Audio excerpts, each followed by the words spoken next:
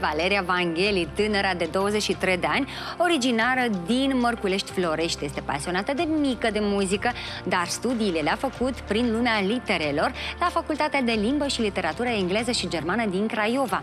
A urmat Germania prin programul Erasmus, însă ecoul muzicii tot a urmărit-o. Și acum vine în platoul nostru cu o premieră frumoasă, de vară. Zic în primul rând să o cunoaștem pe Valeria, după care să-i admirăm și ceea ce face. Salutare, dragă! Bună seara! Bine ai venit! Bine te-am găsit! Ia loc uh, pe canapeaua noastră. Ești acasă în vacanță sau ai venit doar pentru câteva zile?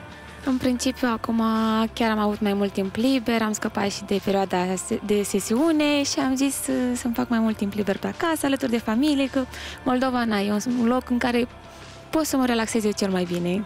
Așa, ai ales facultatea în uh, România.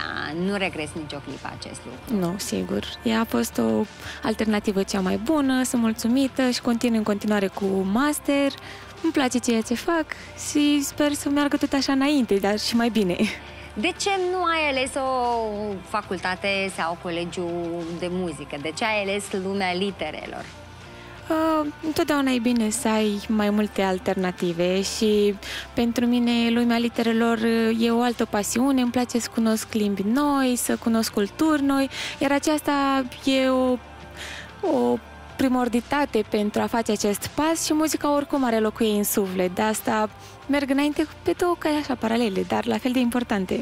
Germania. Ai stat o perioadă și, și în Germania. Da, am fost timp de un an, am făcut programul Erasmus acolo și a fost o experiență wow, dar a avut un loc aparte în uh, maturizare mea, formarea mea ca personalitate și om. Așa, înseamnă că în curând auzim ceva de la tine în germană? Doamne ajută, eu totuși ziceam ceva mai spre bailando, mai spre spaniolă, Aha. pentru că e mai, e mai, plă, mai dansant, exact.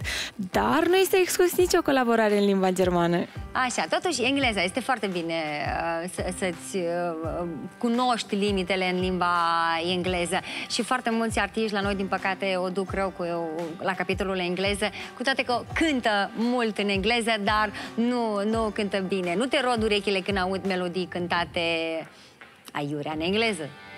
Mm, totuși, auzul meu este mai sensibil în principiu, dar uh, nu sunt foarte critică la capitolul ăsta. Fiecare își exprimă sentimentul în felul său și de foarte multe ori cuvintele exprimate prost pot fi înlocuite cu emoția bine transmisă de oameni și atunci calculăm altfel lucrurile. Așa, colegii tăi de la facultate, profită, știu că tu faci muzică. Da, ei dintotdeauna au știut și pe la facultate, n-am, n-am ezitat niciodată să le cânt ceva sau să le povestesc de pe la evenimente, chestii, chiar dacă mai aveam ore de la 8 dimineața și eram mai stresați așa, mai veneam eu câte o glumă și mai povesteam diferite chestii mai interesante. Și întotdeauna m-au sprijinit la capitolul ăsta, au fost chiar un, au fost oamenii care m-au susținut cel mai mult și au zis că Valeria, bravo, ce cauți la litere, dar e bine și faci acolo și toate astea. Așa, ce caută Valeria aici pe canapeaua vorbelor? Pune, păi a venit să ne prezinte un videoclip de vară, atât de vară, da? Avem nevoie de, de aceste emoții, avem nevoie să ne încărcăm cu energia soarelui, iar acum ne încărcăm cu energia Valeriei pașii Pe malul mării mă plim pierdută în unison. Aștept să vii cu priza mării Și să mă iei de braț ușor. Și dacă larg e numai apă Acolo mergem amândoi. Ascunși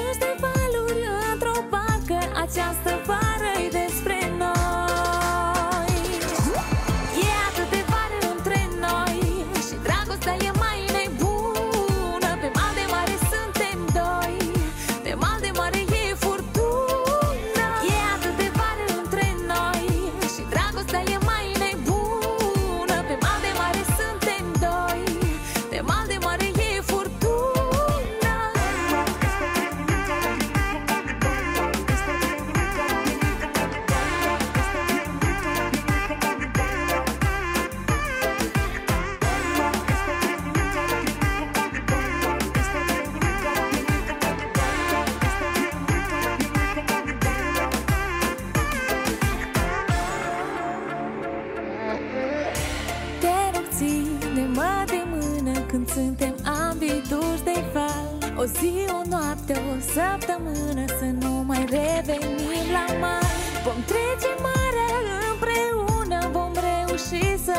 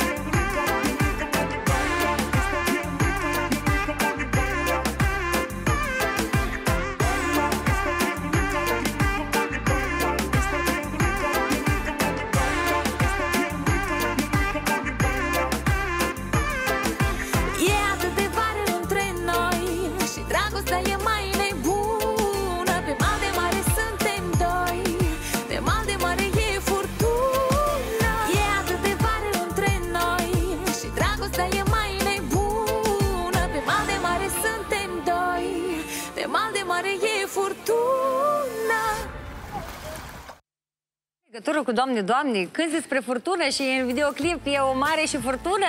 Da, e o legătură probabil de acolo de sus.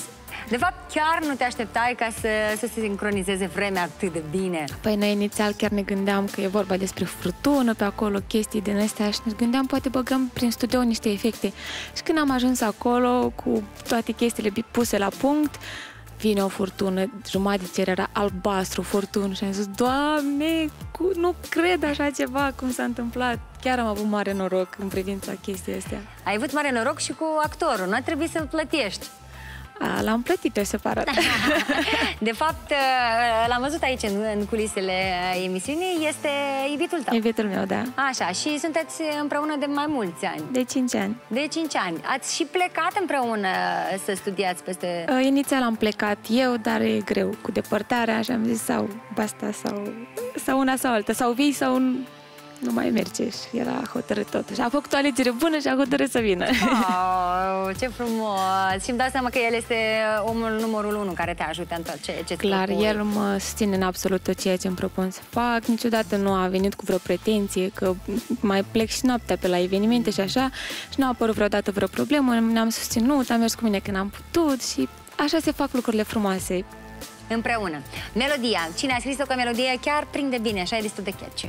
A, melodia am compus-o eu împreună cu prietenul meu uh, Mihăiță Război și versurile sunt scrise de domnul dr. Ilie Balan, care este și soțul verișoarei mele, pentru că mă laud cu o familie numeroasă, talentată și atunci toată lumea a contribuit, care cu un cuvânt bun, care cu versuri, care cu ce a putut. Fiecare pentru... cu ce a putut. Iar, Exact. iar acum trebuie să fie, fiecare să, să apese de mai multe ori pe zi play ca să adune câte mai multe vizualizări. Clar, și subscribe și multe like- like-uri și cât mai multe distribuiri pentru toată lumea să simtă această căldură și acest vibe de vară care, nu știu, eu am zis, inițial ne gândeam când să lansăm piesa și am zis că luna iunie toată lumea încă e, nu înțelegi dacă e vară sau nu, încă n-am apucat concediu, dar începând din luna iulie, e și căldura aia mare și nu e doar o simplă vară, e atât de vară, atât de mișto, atât de super, atât de multe emoții. Deci asta este cuvântul cheie al orice vară frumos petrecută. Așa, atât de vară. Uh, Sperăm să, să avem și noi parte de o vară nemaipomenită, cu mai puține ploi din astea primejdioase.